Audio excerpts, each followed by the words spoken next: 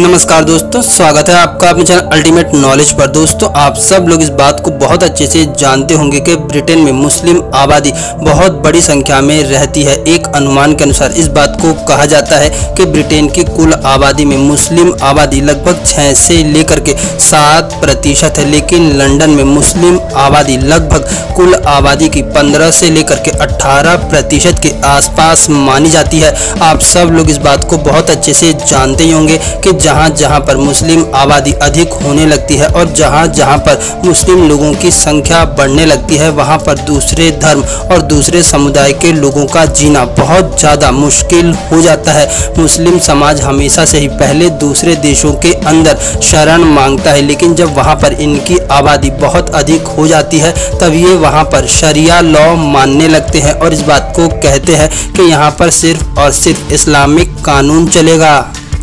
आबादी बढ़ने के बाद ये लोग दूसरे धर्म और दूसरे संप्रदाय के लोगों को वहाँ से भगाना शुरू कर देते हैं और ऐसा ही कुछ ब्रिटेन में होने लगा था जिसे ब्रिटेन की जनता ने बहुत जल्दी महसूस कर लिया और ब्रिटेन की जनता भारत के हिंदुओं की तरह सोई नहीं है। ब्रिटेन की जनता ये सोचने लगी कि अगर अभी इनकी आबादी को नहीं रोका गया और इनके खिलाफ आंदोलन नहीं किया गया तो जल्द ही ब्रिटेन इस्लाम का गुलाम होगा। इसी को देखते हुए ब्रिटेन की जनता ने इस्लामिक गतिविधियों अधिकारियों के खिलाफ ब्रिटेन के अंदर आंदोलन शुरू कर दिया है। लगभग सात लाख से भी ज़्यादा की भीड़ ने ब्रिटेन पार्लियामेंट के बाहर खड़े होकर के इस बात का विरोध किया कि लंदन के अंदर जो मुस्लिम आबादी बढ़ रही है, उसके साथ ही साथ ब्रिटेन के अंदर मुस्लिम आबादी को नियंत्रित किया जाए। वहाँ पर खड़े आंदोलनकारियों ने इस बात को खुले तौर पर कहा कि ब्रिटेन हमारी ज़मीन है और हम ब्रिटेन की ज़मीन पर किसी भी कीमत पर इस्लामिक गतिविधियों गतिविधियों को ना ही तो बढ़ने देंगे